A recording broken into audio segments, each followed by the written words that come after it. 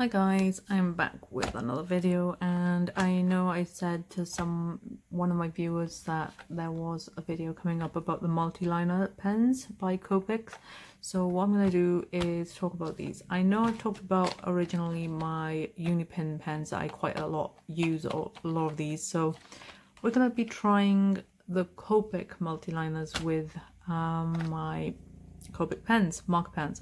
So yeah, just to let you know, what I tend to do with all my multi-liner pens is when I'm drawing, I tend to draw an art piece out and let it dry fully the ink because I find sometimes if you are over an art really, really um heavy-handedly, what happens, that ink does lift off even when I use let it dry completely. So what I tend to do is I quite lightly draw line first. And then after I've used my whatever markers you're using alcohol, alcohol markers you're using pro markers or Copic markers I then go over it then go back with fine liners in different thicknesses and then thicken the lines up that way. So what I'm going to show you is originally gone and sketched and outlined this I don't know. I might show the process or I might not because I did record it. But it is, but it's going to be a sped up little video. You can check that out now if you want. So first I start off with a pencil drawing and then I go on to taking one of the skin tone, so the brown one, the sepia colour by the Copics. I quite like these pens because I got a few different colours.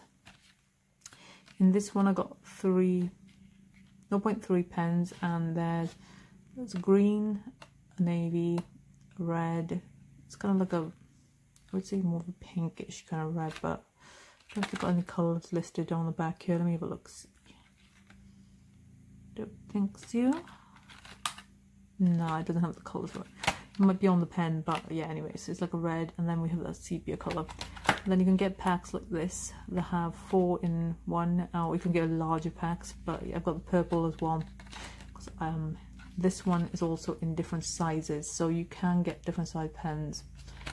But these ones are all 0.3. Usually that's the size I use, or 0.1 if I'm outlining a design. But yeah, I used the 0.3 on this quite faintly, and then I rubbed the lines out, the razor lines, so we're left with an image, quite a faint image. So that will be ideal to do my Copic designs all over. This has been drying for two days now, maybe I haven't gone back to it. So yeah, it should be completely dried already. But yeah, then we can take our Copic hands and I will do a speed sped up video of that while I'm colouring it in so you can see that it doesn't lift off but I will suggest some of the even my um, multi-liner pens from my Unipin. They even also sometimes get lifted off by the light, I would say the light Copic colours because they have more alcohol in them. So I don't know, maybe it's something to do with that. But the darker colours don't tend to pull it out unless I don't notice because they're darker and you can't really see that happening. But for this purpose, I'm going to be using only these fine liners and yeah. And I'll be using the Copic markers on that as well. So keep tuned. If you haven't followed already hit that follow button. I really appreciate it. And follow all my other social media sites.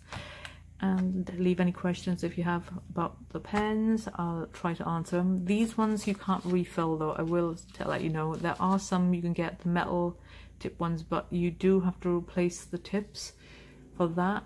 Even these ones you can actually wear the tip down. So you have to have a smooth paper or I tend to go for watercolor paper. Now this is my textured one. So this is the cold pressed one by Arches. So yeah I do tend to go for textured paper that is quite thick. This is 300 GSM paper as well.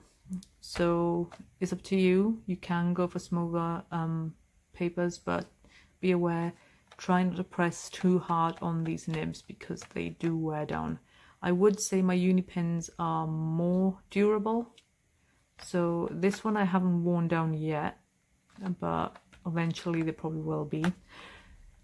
So they will, you will have to look out for that. And anything else I have to say, was anything on it? But I did find these, think this pack on eBay somewhere. So yeah, I found like a large pack and we have quite a good variety going on here.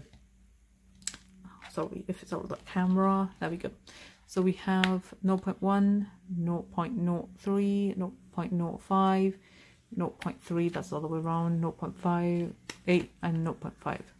1.0 and this is BS and B um, basically means BS means a small brush small and the brush medium. So yeah those are thicker kind of pens there.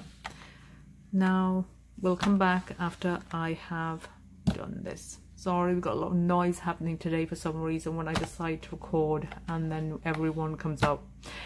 But I can't help that. Um if you can hear in the background sorry about that. But anyway we'll be back guys bye